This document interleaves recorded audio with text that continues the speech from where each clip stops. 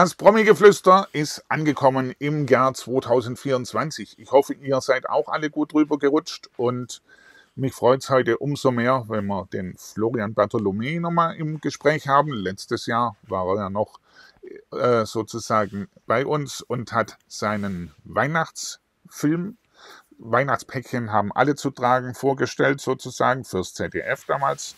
Und jetzt sage ich einfach mal Hallo und herzlich willkommen nochmal. Grüße dich, Florian. Grüß dich, hallo. Ein frohes neues Jahr sozusagen. Ich danke, das wünsche ich ha dir auch. Hast du gut angefangen? Ich habe soweit gut angefangen.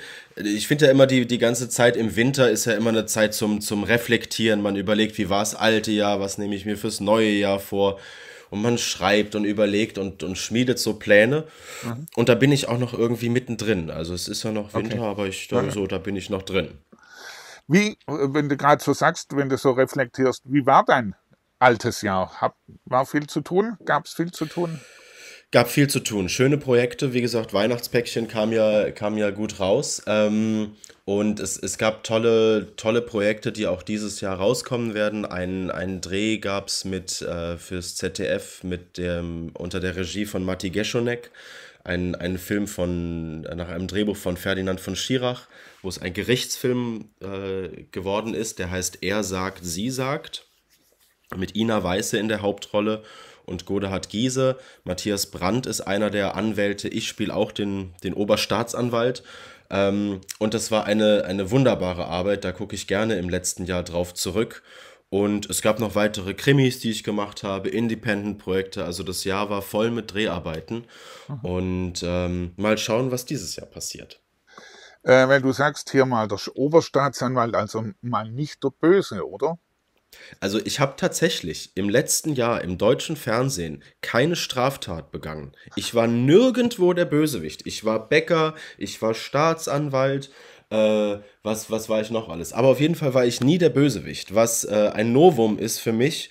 Ähm, aber auch mal gut getan hat. Ja, man muss nicht immer irgendwie lügen und verstecken und äh, das war schön. Na, mal gucken, ob dieses Jahr mal wieder ein Täter dabei ist. Mal schauen. Ja, also mein, äh, die Krimiserien gibt es ja wie Sand am Meer. Ich sage immer mal wieder, wird eigentlich im Fernsehen, im deutschen Fernsehen so viel gemordet oder in Deutschland generell? Ja, also ich glaube, die Zahlen von den äh, tatsächlichen Mordfällen in Deutschland sind Gott sei Dank sehr, sehr gering, aber im deutschen Fernsehen jeden Abend, äh, ja, Ne, gibt es Mord und Totschlag, ne? man sagt immer so, ohne Krimi geht die Mimi nicht ins Bett. Ja. Ähm, der, die Deutschen lieben Krimis, ich habe selber schon viele gedreht und es erfindet sich ja auch immer mal wieder neu. Ähm, ja, ich bin gespannt, wie da der Trend in den nächsten Jahren ist. Ähm, mal schauen. Ne? Also es gibt ja die, die alten Flaggschiffe der Tatort, die sich da mhm. weiterhin sehr, sehr, sehr, sehr prominent halten und sehr gute äh, Zuschauerquoten haben. Ne? Das es genau. bleibt ein beliebtes Genre. Richtig, also in den Weihnachtspäckchen muss man sagen, da bist du ja Vater geworden, aber ja. im wahren Leben vor kurzem oder nicht allzu langer Zeit ja eigentlich auch, oder? Ja, genau. Also in der äh, 2021 bin ich auch Vater geworden. Und äh, genau, viele gucken ja auf die Zeit zurück und, und waren in der Corona-Pandemie äh, sehr beschäftigt. Für mich war es eine Zeit, wo sich mein Leben auch sehr verändert hat und ich einfach Vater geworden bin. Ähm, Genau, das stellt natürlich das Leben in irgendeiner Form auf den Kopf. Man hat andere Zeiten, andere Prioritäten.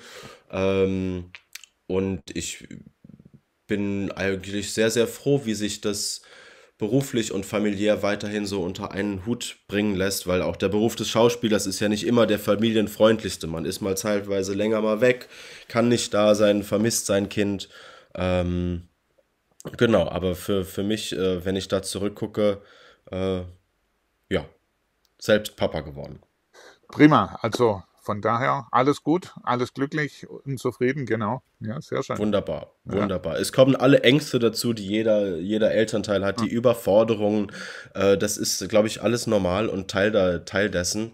Und dennoch guckt man so zurück und die Zeit seit, seit der Geburt von meinem Kind fliegt. Also es fliegt vorbei. Ne? Und man denkt, ach, wo ist, wo geht denn die Zeit hin? Ähm, und ich, ich trotz Schlafmangel und was auch immer, was da am Anfang dabei ist, ich finde es toll. Ne? Mhm. Also ich finde es toll und äh, bereichert das Leben und Sehr gut. Äh, das Ganze, äh, oder ich muss so sagen, ähm, im Vorfeld, wo wir aufs Interview sozusagen hier den Termin versucht hatten, da hieß es immer noch, du machst auch noch einen anderen Beruf. Und ich glaube, wenn man nachliest, auch in deiner Biografie, du hast auch Kampfsport sozusagen gemacht oder machst es noch und gibst auch entsprechend Trainingseinheiten. Ja, die, Kampf, die Kampfkunst oder der Kampfsport war schon seitdem ich ein Kind bin Teil, Teil von meinem Leben. Ne? Mhm. Ich brauche mittlerweile keinen Gegner mehr von außerhalb. Ich bin selber mein eigener Feind. Ähm, den eigenen Schweinehund zu überwinden oder sein Leben in Balance irgendwie zu gestalten, ist doch manchmal mehr eine Hürde, als man denkt. Ähm, aber ist richtig, ich habe in der Vergangenheit, ich habe ich hab Kinder unterrichtet, Erwachsene, äh, Kollegen, Kolleginnen für Filme vorbereitet. Äh, an die, an die Kampfsport oder an die Kampfkunst, man kann ja über verschiedenste Betrachtungsweisen dran gehen, was jemand daran auch interessant findet oder nicht. Sei es sportliche Wettkämpfe, sei es um für sich selber gesundheitlich was zu tun, sei es aus philosophischer Sicht für ein gutes Vereins- und Trainingsgefühl, warum auch immer. Ähm, und äh, ich glaube, der Kampfkunst und dem Kampfsport werde ich, glaube ich, mein Leben lang treu bleiben. Ich komme nicht weg davon. Also na, sollte man dir nicht unbedingt des Nächtens begegnen oder wenn man dich angreifen will, dann äh, liegt man irgendwo flach dann, oder? Ich lieg vielleicht auch flach, wer weiß. Okay. Also das ist ja immer, wer weiß es schon. Ähm, äh, ne, wenn, wenn man dann wirklich über Angriffe auf der Straße redet, das ist ja ganz grausam. Ne? Das ist ja, da ist ja auch so viel Glück teilweise dabei oder da kann man heilfroh sein, wenn man so einer Gewalt im Leben aus dem Weg geht und man sich aber dennoch irgendwie dem, dem Kampfkunst oder dem, dem Kämpfen, es ist was Schwieriges, aber irgendwann merkt man, ah, man, je länger man sich mit beschäftigt, umso mehr fühlt man sich wohl dabei und man schafft was Schwieriges und das ist ja eine gute Metapher so fürs Leben. Wenn man sich da auch was Schwieriges vornimmt, wenn man sich damit beschäftigt, man, mhm. man kommt da weiter und man kommt da voran. Und so war die Kampfkunst immer für mich ein gutes, gutes Metapherbild und Begleiter für viele Aufgaben im Leben. Mhm. Ja, sehr gut. Mhm. Also, dann wissen wir das auch. Beruflich bist du gut aufgestellt, familiär passt auch alles und glücklich und zufrieden mit dem Kind. Äh, wie schaust du jetzt oder wie kritisch schaust du jetzt in die Zukunft, was unsere Welt angeht? Sei es mit den Kriegen, sei es mit der Umwelt. Ja, also die Nachrichten oft zu schauen macht keinen Spaß. Also mhm. wenn man das jetzt zu oft Nachrichten liest, das zieht wirklich derartig runter. Man kriegt ja auch von allen Ecken der Welt die schlechten Nachrichten mit und zu wenig gute Nachrichten. Mhm. Ja. Und, ähm, und natürlich denke ich schon drüber nach. Mein Kind wird im Jahr 2100 wahrscheinlich noch leben. So, wie sieht denn die Welt aus in 80 Jahren? Wie, wie, wie, was hinterlässt man denn den Kindern? Ähm, und auch man merkt ja, eine, eine, Demokratie muss auch wirklich verteidigt werden. Also man, äh, das ist nicht so felsenfest, wie man sich das immer, äh, wie man sich das immer wünscht oder wie man aufgewachsen ist. Und ähm, auch da merkt man irgendwie, oder merke ich zumindest als Vater, ah, man hat da eine Verantwortung dafür, was für eine Welt und was für eine Umwelt man, äh, man gestaltet. Natürlich ist so das eigene Tun und Handeln begrenzt, aber es gibt doch einen Einfluss, ne? was man kauft, wie man mit Leuten umgeht ähm, und, und was für eine Welt und was für eine äh, kleine Gemeinschaft man in dem Ort, wo man lebt, sich aufbaut. Und, mhm. äh, und ja, da, da, geht's, da gilt es dran zu arbeiten. Ich kann nicht viel tun, was auf der anderen Seite der Welt passiert, aber so was vor meiner Haustür passiert und wie da miteinander umgegangen wird, darauf habe ich einen Einfluss. Richtig, genau. Ja, also ich denke mal, 2024 hat man noch einige äh, sozusagen Nüsse knacken müssen, die man wirklich da wieder, also, dass uns das Ganze vielleicht wieder ein bisschen positiv vorangeht, aber ich habe noch so ein bisschen meine Zweifel in mancher Hinsicht.